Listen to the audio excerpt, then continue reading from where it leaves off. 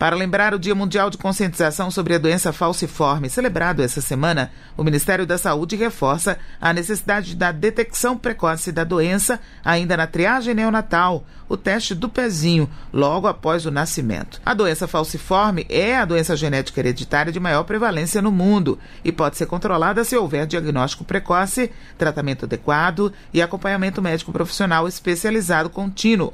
O diagnóstico pode ser feito nos 29 serviços de referência em triagem neonatal habilitados pelo Ministério da Saúde. Crianças a partir dos quatro meses de idade, jovens e adultos que ainda não fizeram o procedimento para detectar a doença, podem realizar o exame de sangue chamado eletroforese de hemoglobina, disponível no Sistema Único de Saúde.